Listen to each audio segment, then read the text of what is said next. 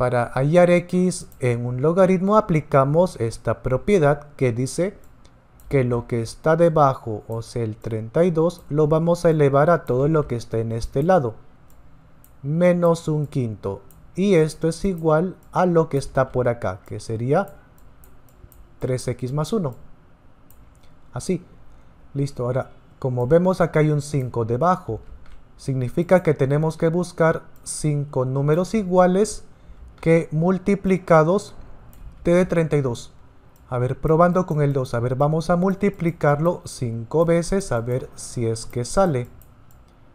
Aquí está, 5 veces. 2 por 2, 4, por 2, 8, por 2, 16 y por 2, 32. Sí salió. Probando con el 2, por eso acá colocamos 2.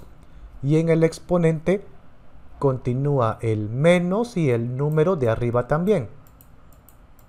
Y por acá baja esto.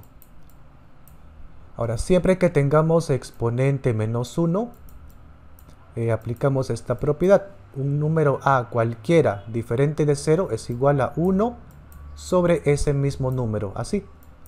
Acá a es como el 2, así que sería 1 sobre ese mismo, que es 2. Y por acá baja lo mismo. Y como 2 está dividiendo, pasa a multiplicar al otro lado. Así que 2 por 3 Sale 6 con su x más, ahora 2 por 1, 2. Ahora para acá se queda el que tenga x y el que no a este lado. Más 2 pasa como menos 2.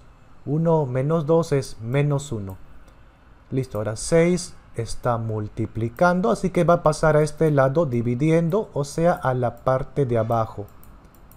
Así que esta sería la respuesta.